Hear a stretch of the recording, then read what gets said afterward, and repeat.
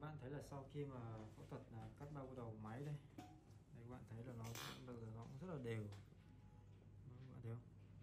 Đấy, nhưng mà cái ở phía dưới này này nhìn vệ sinh này. phía cái cái cái vệ sinh dưới cái dây nhựa mình không vệ sinh được muốn vệ sinh không được.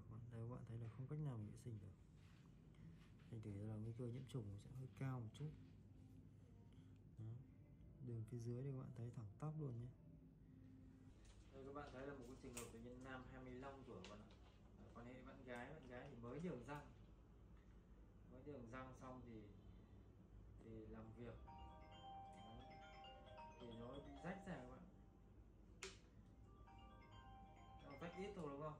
Đến lúc mà làm thì nó mới rách nhiều ra. Xong lúc sau thì em thấy nhiều máu. Lúc cương lộ ra của em bị thắt lại không? Hơi căng tí nhưng mà bị được. Sao thôi thôi đây bạn thấy này? Này vẫn hơi đau ừ, đau. Rách. Rách cái dây hãm luôn các bạn này. Mà con đấy là con đấy chắc là ngực lép đúng không? Cái em ngực lép là hay là không biết làm? Mấy em ngực to là nó làm giỏi lắm. Điêu luyện hay là không?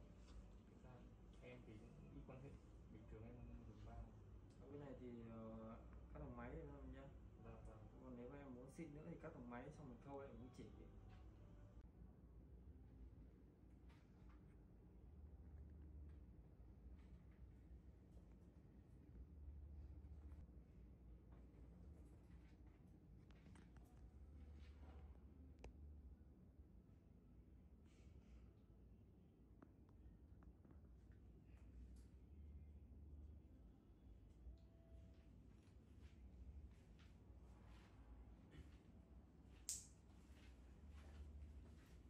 bốn con ba triệu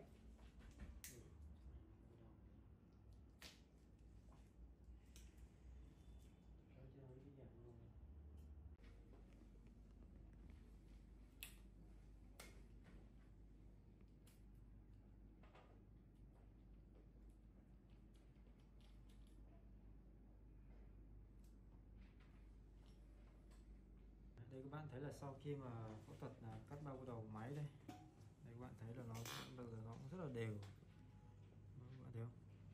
Đấy, nhưng mà cái ở phía dưới này này mình vệ sinh này.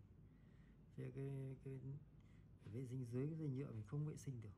Muốn vệ sinh không được đây các bạn thấy là không cách nào mình vệ sinh được. Thành thử là nguy cơ nhiễm trùng sẽ hơi cao một chút.